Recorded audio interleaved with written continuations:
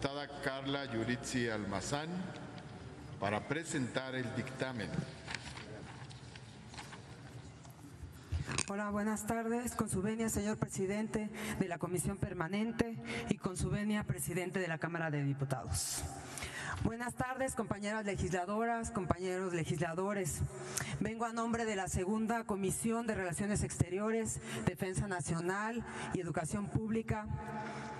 que recibimos por parte de la mesa de- directiva el expediente para procesar la posible ratificación al nombramiento que hizo el Ejecutivo Federal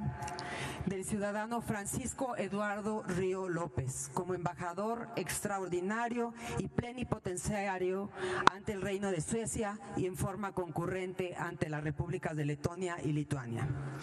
Con la fin- finalidad de conocer la idoneidad o no del propuesto embajador y con el objetivo de cumplir lo dispuesto en la fracción séptima del artículo 78 de la Constitución Política de los Estados Unidos Mexicanos, que a la letra dice que es responsabilidad de la Comisión Permanente el ratificar los nombramientos que el presidente haga a embajadores, cónsules, empleados superiores de Hacienda, integrantes del órgano colegiado encargado de la regulación en materia de energía, coroneles y demás jefes superiores del ejército, armada y fuerza aérea nacionales, en los términos que la ley disponga. De esta forma, esta comisión estableció como procedimiento la comparecencia del embajador del Río, que incluyó en el intercambio de puntos de vista y aclaraciones a todas las interrogantes establecidas por los legisladores que formamos parte de la segunda comisión como integrantes de los grupos parlamentarios que representan dignamente al Poder Legislativo.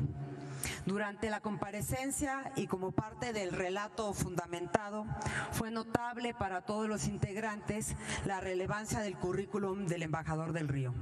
quien es miembro del Servicio Exterior Mexicano desde 1980, es licenciado en Economía por el Instituto Tecnológico Autónomo de México y sumado a esto es importante recalcar que dentro de la experiencia con la que él cuenta, el embajador del Río se encuentra en posiciones de gran relevancia y reconocimiento diplomático dentro de los espacios como la Cancillería, a nivel de direcciones y en el exterior con posiciones como jefe de Cancillería en la Embajada de México en España, jefe de Cancillería en la Embajada de México en los Estados Unidos, embajador de México en Nicaragua, en Argentina, cónsul general, además de haber sido condecorado por 12 países. Dentro del plan de trabajo que nos presentó el día de ayer, el embajador Francisco del Río, esta comisión pudo corroborar que tiene el conocimiento y sobre todo la vocación del servicio a México, que tiene propuesto el dicho embajador. Durante su exposición explicó a manera de síntesis las prioridades que tenía su trabajo,